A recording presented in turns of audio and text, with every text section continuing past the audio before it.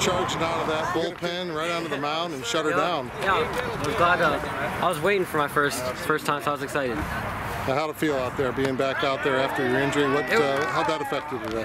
Uh, I mean, it's annoying having that mask on. I don't like that. don't take any videos of me, okay, with that mask on. I don't want to. I don't want to. After a month, I don't want to remember it. So What would you rate no yourself? video of the mask on. I hate it. I look like a fool. Nine out of ten. He's, he's still cute. Thanks, Dad. Yeah. A new nickname? Yeah, with that mask. it Pirate? Pirate. Well, that's because my iPad. Well, good job out there. Thank you. Congratulations. Thanks.